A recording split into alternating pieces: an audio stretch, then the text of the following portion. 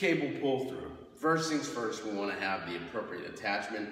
So we want to have the rope attachment for uh, the cable crossover that you're working at. Next thing you want to straddle the rope attachment. It's to look a little funny. We're going to grab in a neutral grip like this, palms facing each other, thumbs uh, facing towards uh, the opposite of where you're going.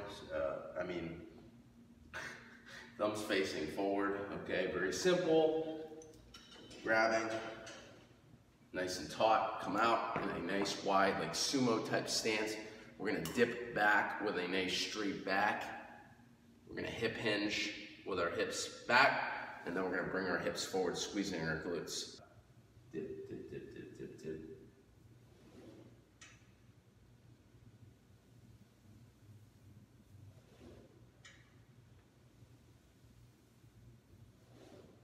So again, hinging back, arms pretty close to the body the whole time, and hinge forward. The biggest mistake that I see with this movement is people bend their elbows, and so they're not able to maintain heavy weight.